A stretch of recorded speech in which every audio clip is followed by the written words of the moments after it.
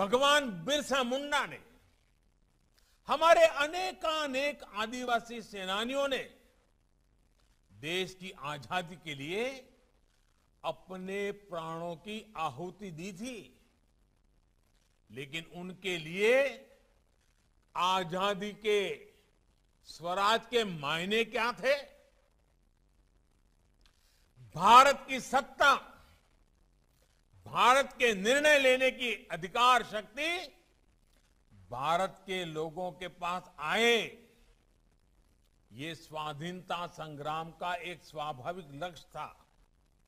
लेकिन साथ ही धरती आवा की लड़ाई उस सोच के खिलाफ भी थी जो भारत की आदिवासी समाज की पहचान को मिटाना चाहती थी।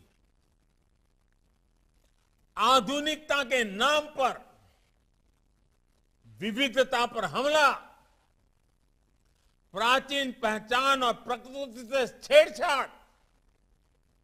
भगवान मिर्सा मुंडा जानते थे कि ये समाज के कल्याण का रास्ता नहीं है। वे आधुनिक शिक्षा के पक्षगर थे। वो बदलावों की वकालत करते थे।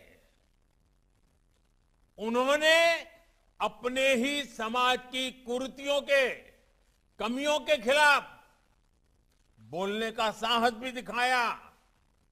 अशिक्षा, नशा, भेदभाव, इन सब के खिलाफ उन्होंने अभियान चलाया।